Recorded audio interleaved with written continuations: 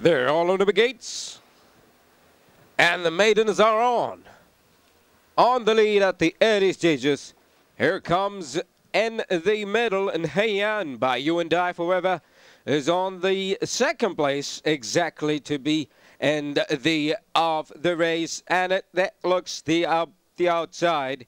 Here comes the rest of the field. They come down to the back of the track and they are taking their permanent position on the inside. Here is Shukhbult who is on the lead. Shukhbult leading. And Deg Gig is in second place. He is chasing after the lead as they come down around the last 202 meter mark on the lead. Here is Shukhbult on the inside of the rail from the far side in the middle. Deg Gig is just holding on in second place, looking comfortable in this position.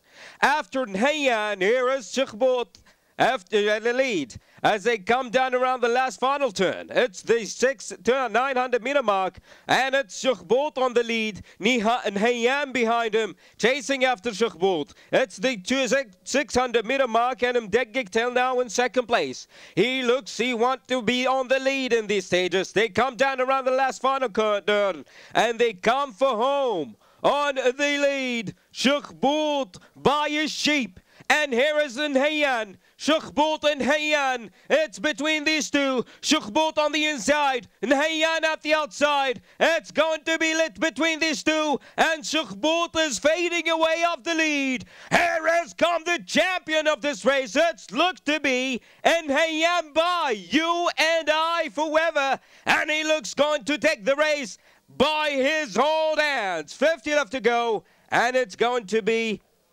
Hayan. What a superb winner. He wins.